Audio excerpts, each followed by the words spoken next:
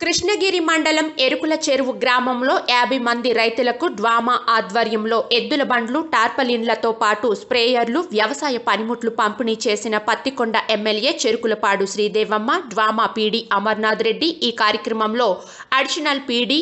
IWMP additional PD MPDO MRO Krishnagiri మండల incharge doctor Venkatramareddy Pattikonda market vice chairman Katarukonda Madhavarao ZPTC KE Subhashini Krishnagiri single window president Kambalapadu Brahmanandareddy Yerukula చెరువు గ్రామ నాయకులు వెంకట్రాముడు ప్రహ్లాద నాగరాజు పరశురాముడు.